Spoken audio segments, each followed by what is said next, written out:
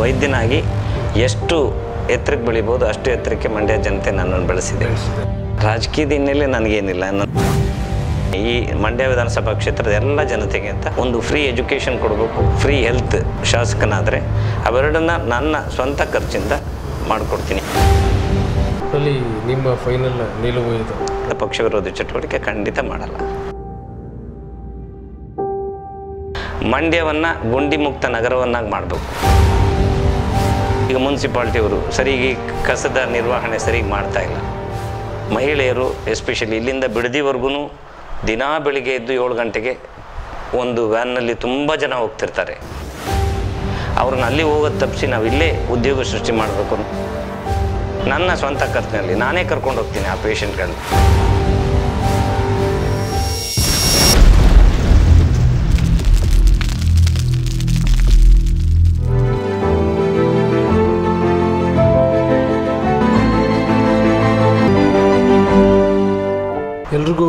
ನಮಸ್ಕಾರ ಸ್ನೇಹಿತರೆ, ಮಂಡ್ಯ ವಿಧಾನಸಭಾ ಕಾಳಗ ವಿಶೇಷ ಕಾರ್ಯಕ್ರಮಕ್ಕೆ ತಮ್ಮೆಲ್ಲರಿಗೂ ಕೂಡ ಆತ್ಮೀಯವಾದ ಸ್ವಾಗತ. ನಮ್ಮ ಜೊತೆಯಲ್ಲಿ ಇವತ್ತು ಬಹಳ ಮಹತ್ವಪೂರ್ವಪೂರ್ಣವಾದಂಥ ಕಾಂಗ್ರೆಸ್ನ ಆಕಾಂಕ್ಷಿಗಳಾದಂಥ ಡಾಕ್ಟರ್ ಕೃಷ್ಣ ಅವರು ನಮ್ಮ ಜೊತೆಯಲ್ಲಿ ಇವತ್ತಿನ ಕಾರ್ಯಕ್ರಮದಲ್ಲಿದ್ದಾರೆ.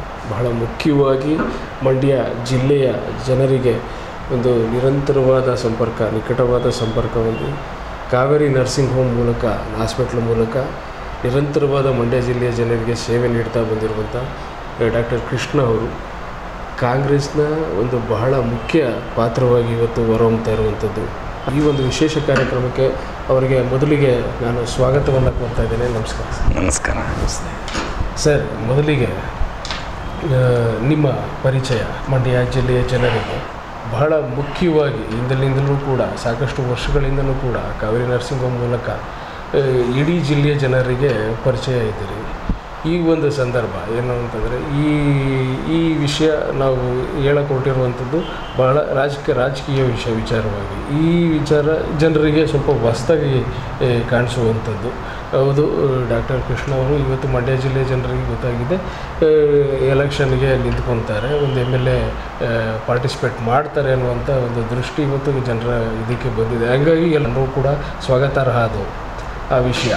ಮಂಡ್ಯ ಜಿಲ್ಲೆಯ ಜನರಿಗೆ. ಎಲ್ರಿಗೂ ನೀವು ಚಿರುಪರಿಚಿದಿರಿ ಚಿರುಪರಿಚಿರ್ತಿರಿಗಿರಿ ಎಲ್ರಿಗೂ ಕೂಡ ನೀವು ಏನು, ಯಾರು ಅನ್ನೋದೆಲ್ಲ ಗೊತ್ತಿದೆ ಮಂಡ್ಯ ಜಿಲ್ಲೆಯ ಜನರಿಗೆ.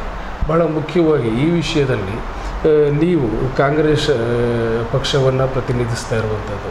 ಆ ನಿಟ್ಟಿನಲ್ಲಿ ನೀವು ಹೇಳೋದಾದರೆ ಮೊದಲಿಗೆ ನಮ್ಮ ವೀಕ್ಷಕರಿಗೆ ಕಾಂಗ್ರೆಸ್ ವರಿಷ್ಠರ ಜೊತೆಗಿನ ಸಂಪರ್ಕ ಮತ್ತು ನಿಮ್ಮ ಏನು ಚಟುವಟಿಕೆಗಳು? ಒಂದು ಪಕ್ಷ ಅಂದಾಗ ಕಾಂಗ್ರೆಸ್ ವರಿಷ್ಠರ ಆಶೀರ್ವಾದದಿಂದಲೇ ನಮಗೆಲ್ಲ ಟಿಕೆಟ್ ಸಿಗೋದಕ್ಕೆ ಸಾಧ್ಯ.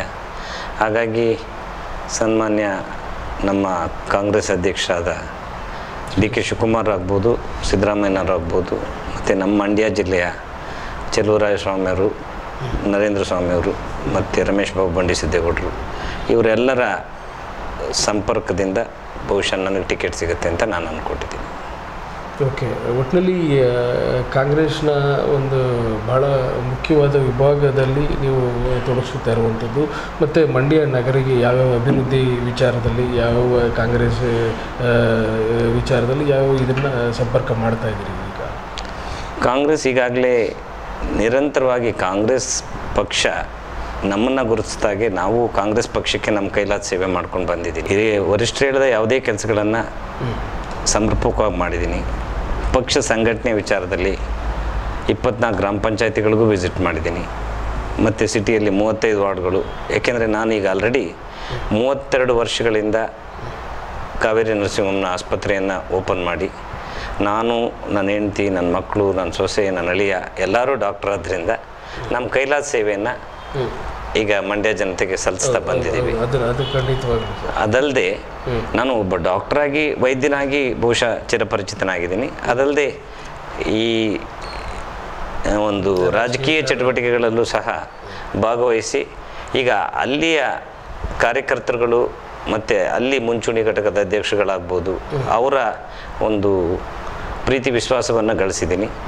ಅದಲ್ಲದೆ ಒಂದು ಹಿರಿಯ ಕಾಂಗ್ರೆಸ್ಸಿಗರಾಗ್ಬೋದು, ಅವ್ರ ಜೊತೆ ವಿಧೇಯತೆಯಿಂದ ಇದ್ದೀನಿ. ಅದಲ್ಲದೆ, ಈ ಕಿರಿಯ ಕಾಂಗ್ರೆಸ್ ಮುಖಂಡರುಗಳ ಜೊತೆ ಒಬ್ಬ ಸ್ನೇಹಿತನಾಗಿದ್ದೀನಿ.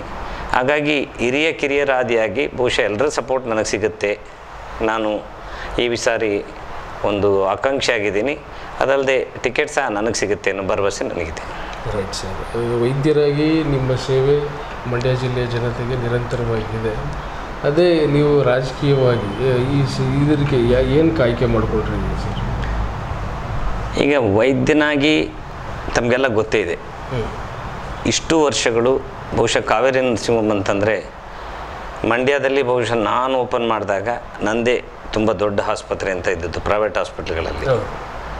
ಸಾವಿರದ ಒಂಬೈನೂರ ನೈಂಟಿ ನೈಂಟಿಯಲ್ಲಿ ನಾನು ಆಸ್ಪತ್ರೆ ಓಪನ್ ಮಾಡಿದಾಗ ತುಂಬ ದೊಡ್ಡ ಆಸ್ಪತ್ರೆ ಪ್ರೈವೇಟ್ ಆಗಿ ಮಾಡಿದ್ದು ನಾನೊಬ್ಬನೇ ಅದಲ್ಲದೆ ಆವತ್ತಿಂದ ಇವತ್ತವರೆಗೂ ಒಬ್ಬ ಫೇಮಸ್ ಗೈನಕಾಲಜಿಸ್ಟ್ ಆಗಿ ನಾನು ಸೇವೆ ಸಲ್ಲಿಸ್ತಾ ಬಂದಿದ್ದೀನಿ. ಒಬ್ಬ ವೃದ್ ವೈದ್ಯನಾಗಿ ಎಷ್ಟು ಎತ್ತರಕ್ಕೆ ಬೆಳಿಬೋದು ಅಷ್ಟು ಎತ್ತರಕ್ಕೆ ಮಂಡ್ಯ ಜನತೆ ನನ್ನನ್ನು ಬೆಳೆಸಿದೆ. ಹಾಗಾಗಿ ರಾಜಕೀಯವಾಗಿ ಸಹ ಈಗ ಜನಸೇವೆ ಮಾಡಬೇಕು ಅಂದರೆ ಬರೀ ವೈದ್ಯನಾಗಿ ಮಾಡ್ಬೋದು. ಅದಲ್ಲದೆ ಪವರ್ ಇಲ್ಲದೆ ಸ್ವಲ್ಪ ಜನಕ್ಕೆ ಇನ್ನೂ ಹೆಚ್ಚಿನ ಸಹಾಯ ಮಾಡಬೇಕು ಅಂತೇಳಿ ನಾನು ರಾಜಕೀಯಕ್ಕೆ ಬಂದಿದ್ದೆ ಹಿನ್ನೆಲೆ ಏನಾರು ಇದೆ ಸರ್? ರಾಜಕೀಯದ ಹಿನ್ನೆಲೆ? ಇಲ್ಲ ರಾಜಕೀಯದ ಹಿನ್ನೆಲೆ ನನಗೇನಿಲ್ಲ. ನನ್ನ ತಂದೆ ಒಬ್ಬರು ರೈತರು. ನನಗೆ ಈ ಸ್ನೇಹಿತರುಗಳು ಈ ಪ್ರೇರೇಪಣೆ ಬರೋದಕ್ಕೆ ಸಾಧ್ಯತೆ ಸ್ನೇಹಿತರುಗಳು.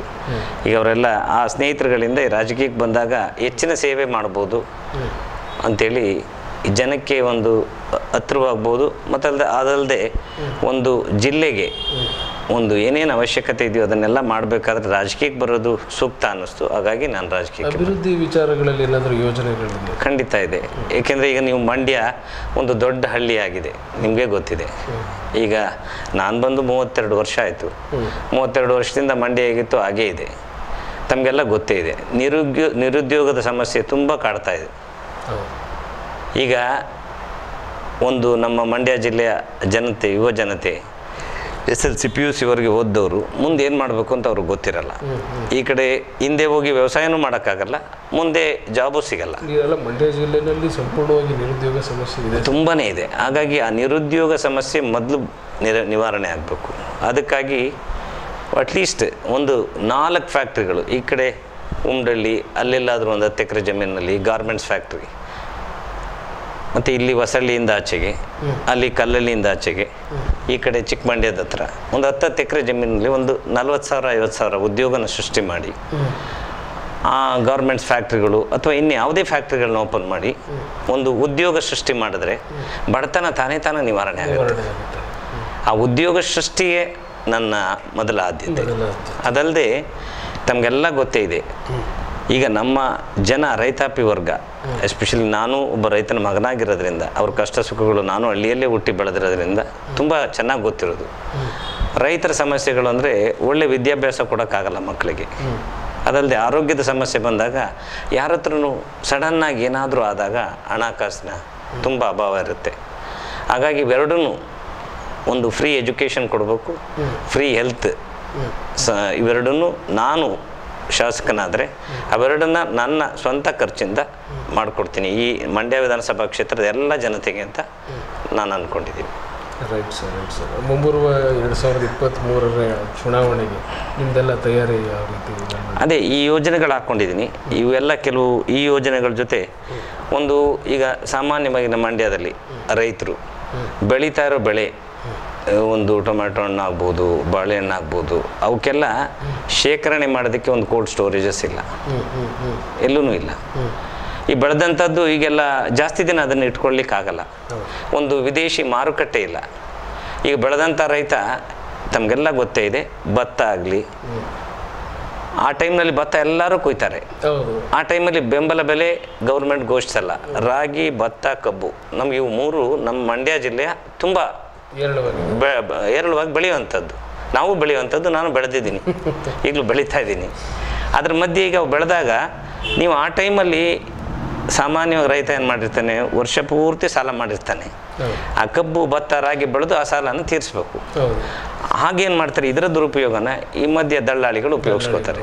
ಅವ್ರೇನು ಏನು ಮಾಡ್ತಾರೆ ಈಗ ನೀನು ಬೆಳೆದಿದ್ಯಾ? ಈಗ ಒಂದು ಭತ್ತನ ಕೇಳ್ತಾರೆ. ಸಿಗಲ್ಲ. ಸರ್ ತುಂಬ ಕಡಿಮೆ ಬೆಲೆಗೆ ತಗೋತಾರೆ. ಅವರು ಅದನ್ನು ಶೇಖರಣೆ ಮಾಡಿ ಇಟ್ಕೋತಾರೆ, ಆಮೇಲೆ ಜಾಸ್ತಿ ಮಾರ್ತಾರೆ. ರೈತ ಅನಿವಾರ್ಯ, ಯಾಕೆಂದರೆ ಅವ್ನ ಸಾಲ ತೀರಿಸೋಕ್ಕೋಸ್ಕರ ಅವ್ನು ಮಾರಲೇಬೇಕಾದಂಥ ಅನಿವಾರ್ಯತೆ ತುಂಬ ಕಡಿಮೆ ರೇಟಿಗೆ ಬರುತ್ತೆ. ಹಾಗಾಗಿ ಸರ್ಕಾರ ಆ ಬೆಂಬಲ ಬೆಲೆ ಅವನ್ನೆಲ್ಲ ಜಾಸ್ತಿ ಮಾಡಬೇಕು. ಅದಲ್ಲದೆ ಬೆಳೆಯುವಂಥ ಬೆಳೆಗೆ ಒಂದು ವಿದೇಶಿ ಮಾರುಕಟ್ಟೆ ನಾವೇ ಮಾಡಿಕೊಟ್ರೆ ಡೈರೆಕ್ಟಾಗಿ ಅವನಿಗೆ ನಿರಂತರವಾದ ಸಂಪರ್ಕ ಇದ್ದು ಒಳ್ಳೆ ರೇಟ್ ಸಿಗುತ್ತೆ. ಈಗ ರೈತರು ಸಾಲ ಮನ್ನಾ ಮಾಡ್ತೀವಿ ಅಂತ ಸರ್ಕಾರಗಳು ಹೇಳ್ತವೆ. ಈ ಸಾಲ ಮನ್ನಾ ಮಾಡೋದ್ರಿಂದ ರೈತನ ಸಮಸ್ಯೆ ಬಗೆಹರಿಯಲ್ಲ. ರೈತನಿಗೆ ಉತ್ತೇಜಿತ ರೀತಿಯಲ್ಲಿ ಅವ್ನು ಬೆಳೆಯುವಂಥ ಬೆಳೆಗೆ ಸಮರ್ಪಕವಾಗಿ ಕಬ್ಬಿಗೆ ಒಂದು ಐದು ಸಾವಿರ ರೂಪಾಯಿ ಕೊಟ್ಟರೆ ಅವನು ಬೆಳೆಯೋದಕ್ಕೆ ಪರಿಶ್ರಮನೂ ಪಡ್ತಾನೆ. ರೈತರು ಅದರಲ್ಲಿ ಇನ್ವಾಲ್ವ್ ಆಗ್ತಾರೆ. ಈಗ ಕೊಡುವಂಥದ್ದು ರೇಟ್ನಲ್ಲಿ ಕಡಿಮೆ ರೇಟ್ ಕೊಟ್ಟಾಗ ಅವನಿಗೆಲ್ಲಿ ಅವನ ಸಮಸ್ಯೆಗಳಿಗೆ ಅವ್ನು ಬೆಳೆದಿರೋ ರೇಟೇ ಸಿಗಲ್ಲ. ಅವ್ರು ಖರ್ಚಾಗಿರೋ ರೇಟೇ ಸಿಗಲ್ಲ. ಭತ್ತ ಆಗಲಿ ಕಬ್ಬಾಗಲಿ ಹಾಗಾಗಿ ರೈತ ಹಿಂದೆ ಉಳಿತಾ ಇದ್ದಾನೆ. ತಮಗೆಲ್ಲ ಗೊತ್ತೇ ಇದೆ. ಈಗ ರೈತರು ಬಹುಶಃ ತುಂಬ ಶ್ರಮಜೀವಿ ಅಂದರೆ ನಾನು ಎಲ್ಲ ಪ್ರೊಫೆಷನ್ಸನ್ನು ಕಂಪೇರ್ ಮಾಡಿಕೊಂಡಾಗ ತುಂಬ ಶ್ರಮ ಪಡುವಂಥದ್ದು ತುಂಬ ಕಷ್ಟಕರವಾದಂಥದ್ದು ಯಾವ್ದಾದ್ರು ಪ್ರೊಫೆಷನ್ ಇದೆ ಅಂದರೆ ಅದು ರೈತ. ಆ ರೈತರು ಅಷ್ಟು ಕಷ್ಟಪಟ್ಟರು ಸಹ ಅವರು ಸುಖವಾಗಿಲ್ಲ. ಆ ಮಂಡ್ಯ ಜಿಲ್ಲೆಯಲ್ಲಿ ಅವರು ಎಷ್ಟು ದಿನ ಸುಖವಾಗಿರಲ್ವೋ ಅಷ್ಟು ದಿನ ಮಂಡ್ಯ ಜಿಲ್ಲೆಯ ಬೇರೆ ಯಾರೂ ಸುಖವಾಗಿರೋಕ್ಕಾಗಲ್ಲ. ಏಕೆಂದರೆ ನಮ್ಮ ಆದಾಯದ ಮೂಲನೇ ರೈತರು. ಆ ರೈತರು ಸುಖವಾಗಿದ್ದರೆ ಮಾತ್ರ ಮಂಡ್ಯ ಜಿಲ್ಲೆ ಸುಖಕರವಾಗಿರೋಕ್ಕೆ ಸಾಧ್ಯ. ಈಗ ನಿಮ್ಗೆ ಗೊತ್ತಿದೆ ಈಗಾಗಲೇ ಎಷ್ಟು ದಿನಗಳಿಂದ ಸ್ಟ್ರೈಕ್ ಮಾಡ್ತಾನೆ ಇದ್ದಾರೆ. ಈ ಸರ್ಕಾರ ಏನು ಮಾಡ್ತಾ ಇದೆ? ಅವರಿಗೆ ಯಾವತ್ತಾದರೂ ಒಂದು ಹೋದ್ರು ಮಿನಿಸ್ಟರ್ ಗೋಪಾಲಯ್ಯನವರು ಗೋಪಾಲಯ್ಯನವರು ಹೋದ್ರು ಮಾತಾಡಿದ್ರು. ಅವರೆಲ್ಲ ಯಾವ ಪಾಡ್ಗೆ ಅವ್ರು ಮಾಡ್ಕೋತಾ ಇದ್ದಾರೆ. ಏನು ಅದರಿಂದ ಏನು ಪ್ರಯೋಜನ ಆಗುತ್ತೆ? ಅದನ್ನ ರೈತ ಈಗ ಬಂದು ನಾವು ಅಮಿತ್ ಶಾ ಬರ್ತೀನಿ ಅಂತಾರೆ ನಾನೇನೋ ಮಾಡ್ತೀನಿ ಅದು ಮಾಡ್ತೀನಿ. ಅದೇ ಅಮಿತ್ ಶಾ ಬರೋದು ಎಷ್ಟು ಖರ್ಚು ಮಾಡ್ತಾರೆ. ಆ ಖರ್ಚನ್ನೇ ರೈತರು ರೈತರಿಗೆ ಕೊಟ್ಟರೆ ಖಂಡಿತ ರೈತ ಉದ್ಧಾರ ಆಗೋಗ್ತಾನೆ. ಇದನ್ನ ಯಾವ ಕಷ್ಟ ಇದೆಯೋ ಅದನ್ನ ನಿವಾರಣೆ ಮಾಡೋದು ಬಿಟ್ಟು ನಾವೇನೋ ಮುಂದಕ್ಕೆ ಮಾಡ್ತೀವಿ ಮುಂದಕ್ಕೆ ಮಾಡ್ತೀವಿ ಅಂತ ಎಲ್ಲ ಬರೀ ಫಾಲ್ಸ್ ಅಶ್ಯೂರೆನ್ಸ್ ತಪ್ಪು ಗ್ರಹಿಕೆಯನ್ನು ಜನಕ್ಕೆ ಬಿತ್ತರಿಸ್ತಾರೆ ಅದ್ರ ಬದಲು ಜನಕ್ಕೆ ಉಪಯೋಗ ಆಗುವಂಥ ಕೆಲಸ ಮಾಡಿ ಅವ್ರು ಏನೂ ಮಾಡೋದು ಬೇಡ ಸುಖವಾಗಿರ್ತಾರೆ ಜನ ಹಾಗೆ ಮಾಡ್ತಾರೆ ಅದಲ್ಲ ಅದ್ರಲ್ಲಿ ನಿಮ್ಮ ಗಮನಕ್ಕೆ ಬಂದಿರುತ್ತೆ ರೈತರು ಏಕೆಂದರೆ ನಾಲ್ಕು ತಿಂಗಳುಗಳಿಂದ ನಿರಂತರವಾಗಿ. ಚಳಿ ಮಳೆ ಅಲ್ವಾ? ಹೋರಾಟ ಮಾಡ್ತಾ ಇದ್ರು ಏನು ಪ್ರಯೋಜನ? ಅದನ್ನ ನಿನ್ನೆ ತೆರವುಗೊಳಿಸಿದ್ರು ಹೌದು ಎಲ್ಲ ದೌರ್ಜನ್ಯಗಳು ಈಗ ದೌರ್ಜನ್ಯಗಳು ರೈತನ್ನ ನೀವು ರೈತರಿಗೆ ಸಹಾಯ ಮಾಡ್ತೀವಿ ಅಂತ ನಾಳೆ ನೋಡಿ ಬರ್ತಾರೆ ಮಾತಾಡ್ತಾರೆ ರೈತರಿಗೆ ಅಷ್ಟು ಅದು ಮಾಡ್ತೀವಿ ಇದು ಮಾಡ್ತೀವಿ ಎಲ್ಲ ಫಾಲ್ಸ್ ಅಶ್ಯೂರೆನ್ಸ್ ಕೊಡ್ತಾರೆ. ಈಗ ನಮ್ಮ ಜನ ಆ ತಪ್ಪು ಗ್ರಹಿಕೆನ ಖಂಡಿತ ಈ ಸಾರಿ ಅಂತೂ ಮಾಡಲ್ಲ. ಜನ ಬುದ್ಧಿವಂತರಿದ್ದಾರೆ ಈಗ. ಯಾವ ಫಾಲ್ಸ್ ಅಶ್ಯೂರೆನ್ಸು ನಡೆಯಲ್ಲ. ನಿಜವಾಗಿ ತಮ್ಮ ಪ್ರಣಾಳಿಕೆಯಲ್ಲಿ ಏನು ಹೇಳಿದ್ದಾರೋ ಅದನ್ನು ಅವರು ನಡೆಸ್ಕೊಟ್ಟೇ ಇಲ್ಲ. ಸೊ ಹಾಗಾಗಿ ಈ ಸಾರಿ ಪುನಃ ಜನನ ಸುಳ್ಳು ಭರವಸೆಗಳನ್ನ ಕೊಟ್ಟು ನಂಬಿಸ್ಬೋದು ಅಂತ ಅವ್ರು ಅಂದ್ಕೊಂಡಿದ್ದಾರೆ ಖಂಡಿತ ಅದಾಗಲ್ಲ ಈ ಸಾರಿ. ಯಾವ ಸುಳ್ಳು ಭರವಸೆಗಳು ನಡೆಯಲ್ಲ. ಈಗ ಏನಪ್ಪ ಅಂದ್ರೆ ಮಂಡ್ಯ ಜಿಲ್ಲಾ ಕಾಂಗ್ರೆಸ್ನಲ್ಲಿ ಎಷ್ಟೋ ಬಾರಿ ನಾವು ವರ್ಗಗಳನ್ನು ನೋಡಿದ್ದೀವಿ ಕಳೆದ ಚುನಾವಣೆಗಳಲ್ಲೂ ಚುನಾವಣೆಯಲ್ಲೂ ಕೂಡ ಎಂ ಪಿ ಚುನಾವಣೆಯಲ್ಲೂ ಕೂಡ. ಅವ್ರನ್ನೆಲ್ಲ ಓಲೈಕೆ ಮಾಡುವಂಥ ಸಂದರ್ಭಗಳು ನಿಮಗೆ ಎದುರಾದರೆ ನೀವು ಅದಕ್ಕೆಲ್ಲ ಏನು ತಯಾರಿ ಮಾಡ್ಕೊಂಡಿದ್ದೀವಿ ನೋಡಿ ಈಗ ನನಗೆ ಗೊತ್ತಿರೋ ಪ್ರಕಾರ ಕಾಂಗ್ರೆಸ್ಸು ಒಂದು ಸುಭದ್ರವಾಗಿ ಇದ್ದಂಥ ಒಂದು ಪಕ್ಷ. ನ್ಯಾಷನಲ್ ಕಾಂಗ್ರೆಸ್ ಇದುವರೆಗೆ ಮೊದಲೆಲ್ಲ ಕಾಂಗ್ರೆಸ್ಸಿಂದ ಟಿಕೆಟ್ ಸಿಕ್ಕಿದ್ರು ಅಂದ್ರೆ ಅವ್ರು ಎಂ ಎಲ್ ಎ ಆದರು ಅನ್ನೋದಿತ್ತು. ಒಂದು ಇಪ್ಪತ್ತು ವರ್ಷಗಳ ಹಿಂದೆ. ಈಗ ಕಾಂಗ್ರೆಸ್ನವರು ಅಂತರ್ಕಲಹದಿಂದ ಬಹುಶಃ ಕಾಂಗ್ರೆಸ್ ಸೋಲ್ತಾ ಇದೆ. ಒಬ್ಬರು ಕಂಡ್ರೆ ಇನ್ನೊಬ್ರಿಗಾಗಲ್ಲ ಅಥವಾ ಹಲವಾರು ಗುಂಪುಗಳು. ಈಗ ಒಬ್ರಿಗೆ ಯಾರಿಗೋ ಟಿಕೆಟ್ ಸಿಕ್ತಾಗ ಬೇರೆಯವರೆಲ್ಲ ಮುನ್ಸ್ಕೊಳ್ಳೋದು. ಈಗ ಅವನು ಸೋಲ್ಲಿ ಅನ್ನೋದು. ಈ ಅಂತರ್ಕಲಹದಿಂದ ಕಾಂಗ್ರೆಸ್ ಸೋಲ್ತಾ ಇದೆ ಫಸ್ಟು ಅದಲ್ಲದೆ ಎರಡನೇ ಎರಡನೇ ಎರಡು ಬಣಗಳಾಗಿ ಎರಡಲ್ಲ ಹಲವಾರು ಬಣಗಳಿವೆ. ತಮಗೆ ಗೊತ್ತಿದೆ. ಆ ಕಾಂಗ್ರೆಸ್ನ ಅಂತರ್ಕಲಹ ಒಂದಾದರೆ ಇನ್ನೊಂದು ಹಿರಿಯರ ನಿರ್ಲಕ್ಷ್ಯ. ಅವೆರಡೂ ಬಹುಶಃ ಕಾಸೋಲ್ಗೆ ತುಂಬ ದಿನಗಳಿಂದ ಕಾರಣ ಅದಲ್ಲದೆ ಮಾಡ್ತಾರೆ ಹೌದು ಖಂಡಿತ. ಹೌದು ಅದೇ ಮೇಜರ್ ಇದು. ಅದಲ್ಲದೆ ಈಗ ಜೆ ಡಿ ಎಸ್ ಕೊಟ್ಟಂಥ ಪ್ರಣಾಳಿಕೆಗಳು, ಅವರು ಅಶ್ಯೂರೆನ್ಸಸ್ ಲಾಸ್ಟ್ ಟೈಮ್ ತಮಗೆಲ್ಲ ಗೊತ್ತಿದೆ ಪ್ರೆಗ್ನೆಂಟ್ ಮುಂಬನಿಗೆ ಆರಾರು ಸಾವಿರ ರೂಪಾಯಿ ಕೊಡ್ತೀವಿ. ಈ ಕುಂಟ್ರು ಕುರುಡ್ರಿಗೆಲ್ಲ ಐದು ಸಾವಿರ ರೂಪಾಯಿ ಕೊಡ್ತೀವಿ. ರೈತರ ಸಾಲ ಮನ್ನಾ ಪೂರ್ತಿ ಮಾಡ್ತೀವಿ. ಸ್ತ್ರೀ ಶಕ್ತಿ ಸನ್ನ ಸಾಲವನ್ನು ಪುನಃ ಪೂರ್ತಿ ಮನ್ನಾ ಮಾಡ್ತೀವಿ. ಸೊ ಈ ಅಶ್ಯೂರೆನ್ಸಸ್ನ ಎಲ್ಲ ಅವ್ರು ಕೊಟ್ಟರು ಆದರೆ ಅದನ್ನೇ ಬೇರೆ ಪಕ್ಷಗಳು ಮಾಡಲಿಲ್ಲ ಲಾಸ್ಟ್ ಟೈಮ್ ಸೊ ಆ false assurance ಅನ್ಸ್ಕೊಂಡು probably J D S last time ಏಳಕ್ಕೆ ಏಳು ಕ್ಷೇತ್ರಗಳಲ್ಲಿ ಗೆಲ್ಲೋದಕ್ಕೆ ಸಾಧ್ಯ ಆಯಿತು. ಈಗ ನಾವು ಕಾಂಗ್ರೆಸ್ಸನ್ನು ಹಿಂಗೆ ಡಿವೈಡ್ ಮಾಡಿ ಇವ್ರನ್ನೆಲ್ಲ ಒಗ್ಗೂಡಿಸ್ಕೊಂಡು ಹಿರಿಯರು ಕಿರಿಯರು ಎಲ್ಲ ಒಟ್ಟಾಗೋದ್ರೆ ಹೋದರೆ ಖಂಡಿತ ಈ ಸರ್ ಕಾಂಗ್ರೆಸ್ ಬರುತ್ತೆ. ಮಂಡ್ಯ ವಿಧಾನಸಭಾ ಕ್ಷೇತ್ರ ಅಲ್ಲದೆ ಹೋಲಿಕೆ ಮಾಡೋದಕ್ಕೂ ನೀವೆಲ್ಲ ತಯಾರಿ ಮಾಡಿ ಖಂಡಿತ. ಇವರೆಲ್ಲ ಎಲ್ಲ ನನ್ನ ಜೊತೆ ಚೆನ್ನಾಗಿದ್ದಾರೆ. ಸೊ ಹಾಗಾಗಿ ಹಿರಿಯರಿಂದ ಕಿರಿಯರವರೆಗೆ ನನಗೊಂದು ಆಸೆ ಇದೆ. ಅವರೆಲ್ಲ ನನಗೆ ಸಪೋರ್ಟ್ ಮಾಡ್ತಾರೆ ಅನ್ನೋ ಭಾವನೆ ಇದೆ. ಎಲ್ಲರೂ ನನ್ನ ಜೊತೆ ಚೆನ್ನಾಗಿರೋದ್ರಿಂದ ಪ್ರಾಬಬ್ಲಿ ಬರುತ್ತೆ. ಮೊದಲಿಗೆ ಏನಪ್ಪ ಅಂದರೆ ಎಲ್ಲ ಕಡೆಯಿಂದಲೂ ನಿಮಗೆ ಟಿಕೆಟ್ ಸಿಗುತ್ತೆ ಆಕಾಂಕ್ಷಿಗಳು ಡಾಕ್ಟರ್ ಕೃಷ್ಣ ಅವರು ಅನ್ನುವಂಥದ್ದಿದೆ. ಆ ಮಾತುಗಳ ಬಗ್ಗೆ ನೀವೇನು ಬಹುಶಃ ನಂದು ನನ್ನ ಪಾಸಿಟಿವ್ ಅಂದರೆ ವಾಸ ಇಲ್ಲೇ ಇದ್ದೀನಿ. ಮೂವತ್ತೆರಡು ವರ್ಷಗಳಿಂದ. ತಮಗೆಲ್ಲ ಗೊತ್ತೇ ಇದೆ ನನ್ನ ಮನೆ ಇದೆ ನನ್ನ ಸ್ಕೂಲ್ ಇದೆ ನನ್ನ ಕಾಲೇಜ್ ಇದೆ ನನ್ನ ಆಸ್ಪತ್ರೆ ಇದೆ. ಬಹುಶಃ ಜನಕ್ಕೊಂದು ಭರವಸೆ ಇದೆ ಡಾಕ್ಟರ್ ಕೃಷ್ಣ ಬೆಂಗಳೂರು ಮೈಸೂರಿಗೆ ಹೋಗಲ್ಲ ಅಂತ. ಒಬ್ಬ ಸಿಗುವಂಥ ಎಂ ಎಲ್ ಎ ಬೇಕು ನಮ್ಮ ಕಷ್ಟ ಸುಖಕ್ಕೆ ಇಲ್ಲೇ ಸಿಗ್ತಾರೆ. ಸೊ ಹಾಗಾಗಿ ಏನೇ ಆದರೂ ಜನಕ್ಕೆ ಒಂದು ಈಗ ಏನು ಅವ್ರಿಗೆ ಸಾಕಷ್ಟು ಕಷ್ಟ ಇದ್ದಾಗ ತಾನೇ ಒಂದು ಯಾವುದಕ್ಕಾದ್ರು ಬರೋದು ಯಾರನ್ನಾದ್ರೂ ಒಬ್ಬರು ಆಶ್ರಯ ಪಡಿಬೇಕು ಅಥವಾ ಅವ್ರಿಗೆ ಹೇಳ್ಕೋಬೇಕು ತಮ್ಮ ಕಷ್ಟನ ಬಗೆಹರಿಸ್ಕೋಬೇಕು. ಒಂದು ಪೊಲೀಸ್ ಸ್ಟೇಷನ್ ಕೇಸ್ ಆಗ್ಬೋದು ಒಂದು ತಹಶೀಲ್ದಾರ್ ಆಫೀಸಲ್ಲಿ ಕೆಲಸ ಆಗ್ಬೋದು ಕೆ ಇ ಬಿನಲ್ಲಿ ಆಫೀಸ್ ಕೆಲಸ ಆಗ್ಬೋದು ಅಥವಾ ಅವ್ರ ಮನೆ ಜಗಳಗಳಾಗ್ಬೋದು. ಇಂದು ಏನೋ ಒಂದು ಅಂತರ್ಕಲ ಯಾವ್ದಾದ್ರು ಆದಾಗ ಅರ್ಜೆಂಟ್ ಒಬ್ಬರು ಒಬ್ಬ ಗಾಡ್ ಫಾದರ್ ಅಂತ ಬೇಕು ಅವನಿಗೊಬ್ಬ ಬೇಕು ಅಂತ ಅರ್ಜೆಂಟಿಗೆ ಬರುವಂಥ ಡಾಕ್ಟರ್ ಸಿಗ್ತಾರೆ ಅನ್ನೋ ಒಂದು ಭರವಸೆ ಇದೆ. ಅದಲ್ಲದೆ ಎರಡನೇದಾಗಿ ಒಬ್ಬರು ಎಜುಕೇಟೆಡ್ ಈಗ ಮಂಡ್ಯದಲ್ಲಿ D C office A C office ಎಲ್ಲ ಕೇಂದ್ರ ಸ್ಥಾನಗಳು ಇರುವಂಥ ಆಫೀಸ್ಗಳೆಲ್ಲ ಇರೋದ್ರಿಂದ ಬಹುಶಃ ನಾನು M B B S D ಜು ಎಂ ಡಿ ಮೂರು ಓದಿದ್ದೀನಿ. ಪ್ರಾಬಬ್ಲಿ ಆ ಎಜುಕೇಟೆಡ್ಡು ಒಬ್ಬರು ಪ್ರಜ್ಞಾವಂತರು ಮಂಡ್ಯಕ್ಕೆ ಬೇಕು. ಎಂ ಎಲ್ ಎ ಅನ್ನೋದು ಇನ್ನೊಂದಿದೆ. ಅದಲ್ಲದೆ ಈಗ ನಾನು ಜೆ ಡಿ ಎಸ್ ಇದ್ದ ಇದ್ದಿದ್ದರಿಂದ ಜೆ ಡಿ ಎಸ್ನಲ್ಲಿ ಇದ್ದಂಥ ಕೆಲವು ಸ್ನೇಹಿತರು ಸೊ ನನಗೆ ಸಪೋರ್ಟ್ ಮಾಡ್ತಾರೆ. ಅಲ್ಲಿಂದ ಒಂದು ಅನುಕಂಪದ ಅಲೆ ಇದೆ. ಹಾಗಾಗಿ ಜೆ ಡಿ ಎಸ್ ಅವರು ಕಾಂಗ್ರೆಸ್ ಅವ್ರ ಜೊತೆಗೆ ಮಿಂಗಲ್ ಆಗಿ ಮಾಡ್ತಾರೆ ಅನ್ನೋದು. ನಾಲ್ಕನೇದಾಗಿ ನನಗೆ ಈ ಕಾಂಗ್ರೆಸ್ನಲ್ಲಿ ಮಂಡ್ಯ ವಿಧಾನಸಭಾ ಕ್ಷೇತ್ರದಲ್ಲಿ ಇರುವಂಥ ಎಲ್ಲರೂ ಈಗ ಆಕಾಂಕ್ಷಿತರಲ್ಲದೆ ಸ್ವಲ್ಪ ಹಿರಿಯರು, ಕಿರಿಯರು ಪಕ್ಷದಲ್ಲಿ ಒಂದು ಗುರುತಿಸ್ಕೊಂಡಿರುವಂಥ ಒಂದು ಪ್ರಮುಖ ಮುಖಂಡರುಗಳು. ಅವರೆಲ್ಲ ನನ್ನ ಜೊತೆ ನಿರಂತರವಾದ ಸಂಪರ್ಕದಲ್ಲಿ ಚೆನ್ನಾಗಿರೋದ್ರಿಂದ ಪ್ರಾಬಬ್ಲಿ ನನಗೆ ಅವರ ಆಶೀರ್ವಾದ ಇರುತ್ತೆ. ಅವರು ನನಗೆ ಸಹಾಯ ಮಾಡ್ತಾರೆ ಅಂತ ಅಂದ್ಕೊಂಡಿದ್ದೀನಿ ಅದಲ್ಲದೆ ಬಹುಶಃ ಈಗೆಲ್ಲ ತಮಗೆ ಗೊತ್ತೇ ಇದೆ. ಎಲೆಕ್ಷನ್ ಚುನಾವಣೆ ಅಂದಾಗ ಒಂದು ಅದಕ್ಕೂ ಪ್ರಿಪೇರ್ ಆಗಿರಬೇಕಾಗತ್ತೆ. ಸೊ ಹಾಗಾಗಿ ಸಂಪನ್ಮೂಲಗಳ ಕೊರತೆ ಇಲ್ಲದೆ ಇರೋದ್ರಿಂದ ಬಹುಶಃ ಡಾಕ್ಟ್ರು ಸಿಕ್ಕಿದ್ರೆ ಕಾಂಗ್ರೆಸ್ ಬರುತ್ತೆ ಅನ್ನೋ ಭರವಸೆ ನಾಯಕರುಗಳಿಗೂ ಬಂದಿದೆ ಜನಕ್ಕೂ ಬಂದಿದೆ ಅಂತ ನಾನು ಅನ್ಕೋತೀನಿ. ತುಂಬ ಸುಲಭವಾಗಿ ಹೇಳಿದ್ರಿ ಆ ವಿಷಯನ. ಅಕಸ್ಮಾತ್ ಏನಾದರೂ ಕಾಂಗ್ರೆಸ್ನಿಂದ ನಿಮಗೆ ಟಿಕೆಟ್ ಸಿಕ್ಕಿಲ್ಲ ಅಂತಂದರೆ ನಿಮ್ಮ ಮುಂದಿನ ನಡೆ ಏನಾದ್ರೂ. ಸ್ವಂತವಾಗಿ ಏನಾದ್ರೂ ಕೂಡ ಪಾರ್ಟಿಸಿಪೇಟ್ ಮಾಡುವಂಥದ್ದು ಆ ಥರದ್ದೇನಾದರೂ ನಿಮ್ಮ ಆ, ಮನಸ್ಥಿತಿನಲ್ಲಿ ಇದೆಯಾ? ಖಂಡಿತ ಇಲ್ಲ. ನೋಡಿ ಪಕ್ಷಕ್ಕೆ ನಾನು ನನ್ನ ಪಾಸಿಟಿವ್ಸ್ನ ಹೇಳ್ಕೊಂಡಿದ್ದೀನಿ. ನಾನು ಒಂದು ಪ್ರಬಲವಾದ ಆಕಾಂಕ್ಷಿ. ನಾನು ಕೊಟ್ಟರೆ ಇವ್ರನ್ನೆಲ್ಲ ಒಗ್ಗೂಡಿಸಿ ಕಾಂಗ್ರೆಸ್ನಲ್ಲಿ ಖಂಡಿತ ಗೆಲ್ತೀನಿ ಅಂತೇಳಿ ನನ್ನ ಆ, ಪ್ರಮುಖ ಮುಖಂಡರುಗಳಿಗೆ ಮನವರಿಕೆ ಮಾಡಿದ್ದೀನಿ. ಹಾಗಾಗಿ ನನಗೆ ಭರವಸೆ ಇದೆ ನಾನು ಟಿಕೆಟ್ ಸಿಗುತ್ತೆ ಅಂತ. ಒಂದು ವೇಳೆ ಅಕಸ್ಮಾತ್ ನನ್ನ ಟಿಕೆಟ್ ಸಿಗಲಿಲ್ಲ. ಕಾಂಗ್ರೆಸ್ ಪಕ್ಷದಲ್ಲಿ ಪಕ್ಷ ಮತ್ತು ಪ್ರಮುಖರು ಮುಖಂಡರುಗಳು ಯಾರನ್ನ ಗುರುತಿಸಿ ಟಿಕೆಟ್ ಕೊಟ್ಟರು ಅವರನ್ನ ಗೆಲ್ಸ್ಕೊಂಡು ಬರೋ ಜವಾಬ್ದಾರಿ ನಂದು. ಕ್ಷೇತ್ರವಾಗಿ ಖಂಡಿತ ಹೋಗಲ್ಲ. ಪಕ್ಷದ ವಿರುದ್ಧವಾಗಿ ಯಾವತ್ತೂ ಮಾಡಲ್ಲ.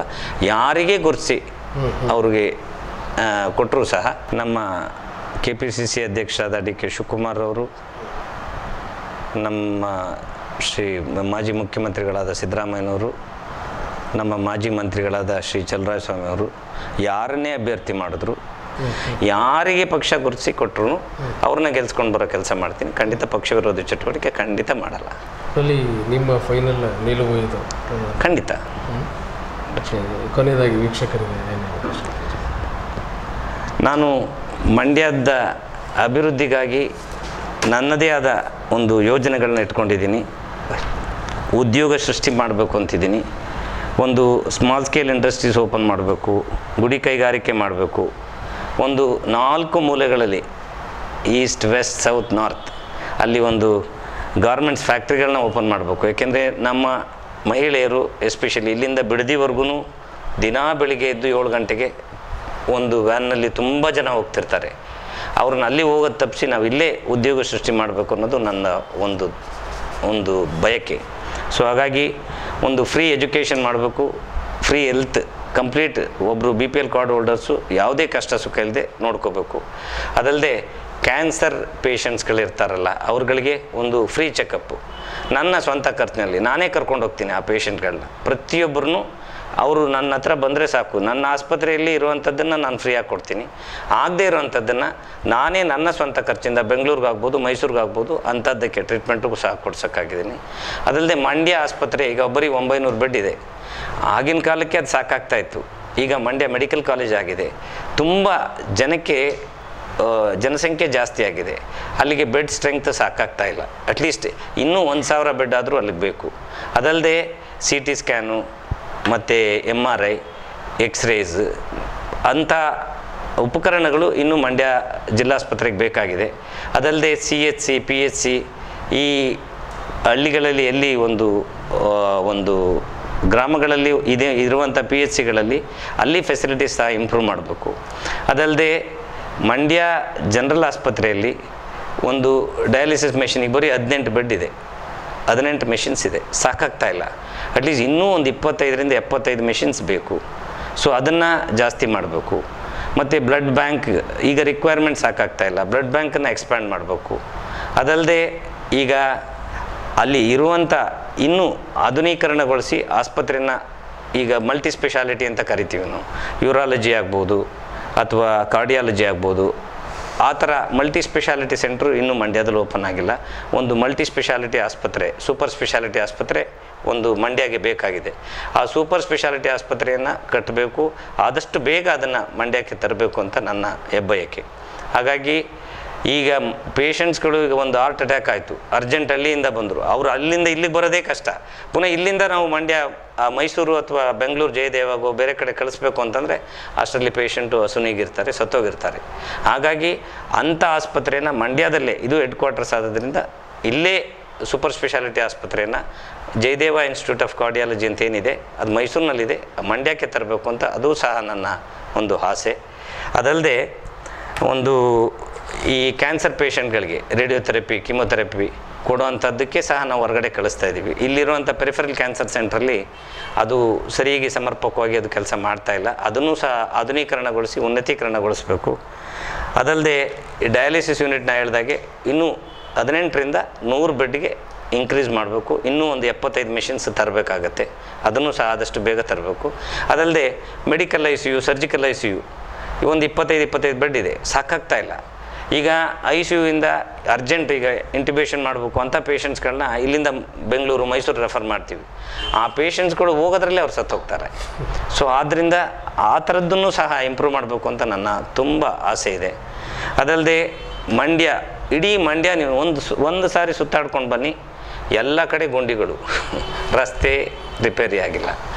ಮಂಡ್ಯವನ್ನು ಗುಂಡಿ ಮುಕ್ತ ನಗರವನ್ನಾಗಿ ಮಾಡಬೇಕು. ಮಂಡ್ಯದ ಎಲ್ಲ ಸುತ್ತ ಇರುವಂಥ ಗುಂಡಿಗಳನ್ನ ಮುಚ್ಚಬೇಕು, ಅದರ ಕೆಲಸ ಮಾಡಬೇಕು. ಅದಲ್ಲದೆ ಈಗ ಮುನ್ಸಿಪಾಲ್ಟಿಯವರು ಸರಿಗೆ ಕಸದ ನಿರ್ವಹಣೆ ಸರಿಗೆ ಮಾಡ್ತಾ ಇಲ್ಲ. ಕೇಳಿದ್ರೆ ಫೋನ್ ಮಾಡಿದ್ರೆ ಏನೋ ಹೇಳ್ತಾರೆ, ಒಂದು ಕಾರಣ ಹೇಳ್ತಾರೆ, ಮಾಡಿಸ್ತೀವಿ ಅಂತಾರೆ. ಈಗ ಮುಂದಿನ ನಮ್ಮ ಮನೆ ಮುಂದೆನೇ ನಾನು ಮಂಜು ಅವ್ರಿಗೆ ಹೇಳಿ ಹೇಳಿ ಒಂದು ವರ್ಷದಿಂದ ಹೇಳ್ತಾ ಇದ್ದೀನಿ. ಅಣ್ಣ, ನಾಳೆ ಪೂಜೆ ನಾಳೆ ಪೂಜೆ ಅಂತಾರೆ. ಖಂಡಿತ ಮಾಡಲ್ಲ ಅವರು, ಮಾಡಿಲ್ಲ. ಹಾಗಾಗಿ ಅವೆಲ್ಲ ತುಂಬ ಕೆಲಸಗಳಿದೆ. ಮಂಡ್ಯ ನಗರ ಒಂದು ಸುತ್ತುವರೆದು ತಾವು ನೋಡಿದಾಗ ಗೊತ್ತಾಗುತ್ತೆ. ಎಲ್ಲೂ ಒಂದು ಬಯೋ ಟಾಯ್ಲೆಟ್ಸ್ಗಳಿಲ್ಲ. ಸೊ, ಎಲ್ಲಿ ಅಂದ್ರಲ್ಲಿ ಜನ ನಿಂತು ಯೂರಿನ್ ಪಾಸ್ ಮಾಡೋದು ಆ ಥರ ಮಾಡ್ತಾರೆ. ಆ ಗಲೀಜನ್ನು ತಪ್ಪಿಸ್ಬೇಕಂದ್ರೆ ಮಂಡ್ಯದ ಹಲವಾರು ಕಡೆ, ಮೂವತ್ತೈದು ವಾರ್ಡ್ಗಳಲ್ಲೂ ಅಟ್ಲೀಸ್ಟ್ ಒಂದು ಹತ್ತತ್ತು ಕಡೆ ಒಂದು ಬಯೋ ಟಾಯ್ಲೆಟ್ಸ್ಗಳನ್ನ ಮಾಡಬೇಕು.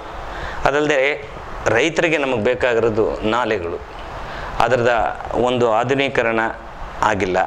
ಅದನ್ನು ಒಂದು ಸಮರ್ಪಕ ರೀತಿಯಲ್ಲಿ ತಂದು ನಾಲೆಗಳನ್ನು ಸಹ ಉನ್ನತೀಕರಣ ಮಾಡಬೇಕು ಅನ್ನೋದು ನನ್ನ ಆಸೆ.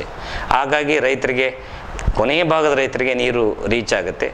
ರೈತರು ತಾವು ಸ್ವಾವಲಂಬಿಗಳಾದರೆ ಬೇರೆಯವ್ರನ್ನೆಲ್ಲ ಸಾಕ್ತಾರೆ ಅವರು. ಅವ್ರು ಯಾರನ್ನು, ಯಾರ ಮೇಲೂ ಡಿಪೆಂಡ್ ಆಗಬಾರ್ದು. ರೈತರನ್ನ ಸ್ವಾವಲಂಬಿಗಳನ್ನಾಗಿ ಮಾಡಬೇಕು ಅನ್ನೋದು ನನ್ನ ಹೆಬ್ಬಯಕೆ. ಅದಲ್ಲದೆ, ಅದಕ್ಕೋಸ್ಕರ ನಾವು ಈ ಹೋಬಳಿ ಲೆವೆಲಲ್ಲಿ ಒಂದು ಕೃಷಿ ಮಾರುಕಟ್ಟೆಯನ್ನು ಮಾಡಿಕೊಡ್ಬೇಕು ಅವರಿಗೆ. ಸೊ ಅವ್ರು ಬೆಳೆಯೋಂಥ ಬೆಳೆನ ತಂದು ಬೇರೆಯವ್ರಿಗೆ ಮಾರೋದಕ್ಕೆ ಒಂದು ಅವಕಾಶವನ್ನು ಮಾಡಿಕೊಡ್ಬೇಕು. ಅದಲ್ಲದೆ ಈಗ ನಮ್ಮದು ಸಂತೆ ಸಂಸ್ಕೃತಿ ತಮಗೆಲ್ಲ ಗೊತ್ತೇ ಇದೆ. ಭಾನುವಾರದ ಸಂತೆ, ಶನಿವಾರ ಸಂತೆ, ಸೋಮವಾರ ಸಂತೆ ಅಂತ. ಆ ಸಂತೆ ಸಂಸ್ಕೃತಿ ನಶಿಸಿ ಹೋಗ್ತಾ ಇದೆ. ಎಲ್ಲೆಲ್ಲೋ ಹಳ್ಳಿಯಲ್ಲಿ ಜನ ತರ್ತಿದ್ದಾರೆ. ಅದಕ್ಕೆಲ್ಲ ಅವ್ರಿಗೆ ಫೆಸಿಲಿಟೀಸ್ ಇಲ್ಲ. ಬಿಸಿಲಲ್ಲಿ ನಿಂತ್ಕೋಬೇಕು. ತಾವೆಲ್ಲ ನೋಡಿರ್ಬೋದು.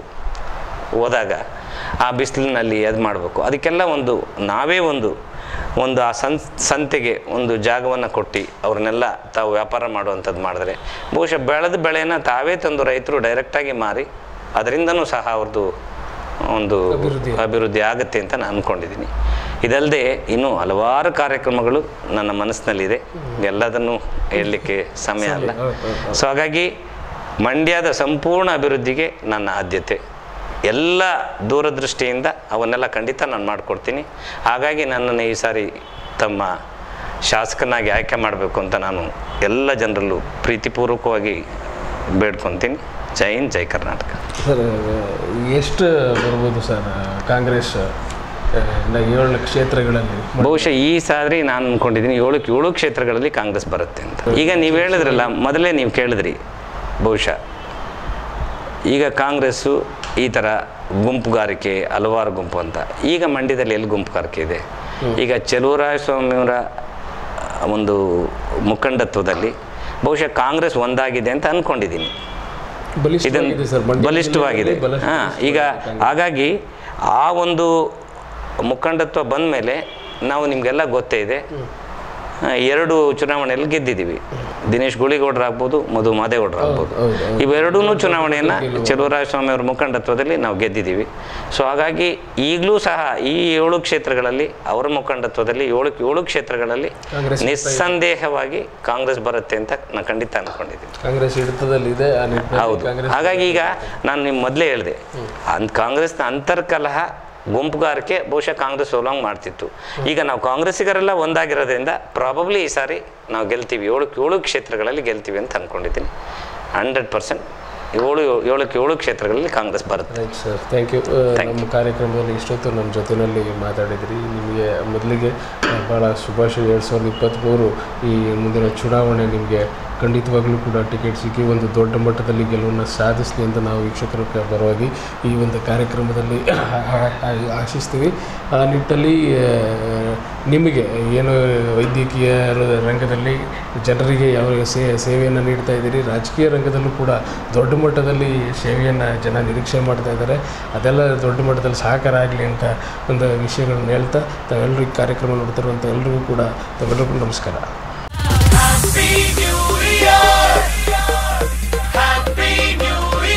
ಎಲ್ಲರಿಗೂ ನಮಸ್ಕಾರಗಳು. ಎರಡು ಸಾವಿರದ ಇಪ್ಪತ್ತ್ಮೂರು ಹೊಸ ವರ್ಷ ನಿಮ್ಮ ಜೀವನದಲ್ಲಿ ಹೊಸ ಚೈತನ್ಯವನ್ನು ತರಲಿ, ನಿಮಗೆಲ್ಲ ಶುಭವಾಗಲಿ, ಎಲ್ಲರೂ ಕ್ಷೇಮದಿಂದ ಇರಿ. ಪಕ್ಕದ ಚೈನಾದಲ್ಲಿ ಕರೋನಾ ಆರ್ಭಟ ಜಾಸ್ತಿ ಆಗಿದೆ. ಹಾಗಾಗಿ ಎಲ್ಲರೂ ಮಾಸ್ಕನ್ನು ಧರಿಸುವುದ ಮುಖ, ಮುಖಾಂತರ ತಮ್ಮ ಆರೋಗ್ಯವನ್ನು ಚೆನ್ನಾಗಿ ಕಾಪಾಡ್ಕೊಳ್ಳಿ. ನಿಮಗೆಲ್ಲ ಆಯುರಾರೋಗ್ಯ ಐಶ್ವರ್ಯವನ್ನು ಕೊಟ್ಟು ಭಗವಂತ ಕಾಪಾಡಲಿ ಅಂತೇಳಿ ನಾನು ಮಂಡ್ಯ ವಿಧಾನಸಭಾ ಕ್ಷೇತ್ರದ ಎಲ್ಲ ಜನತೆಗೂ ಶುಭಾಶಯವನ್ನು ಕೋರ್ತೀನಿ. ಜೈ ಹಿಂದ್ ಜೈ ಕರ್ನಾಟಕ.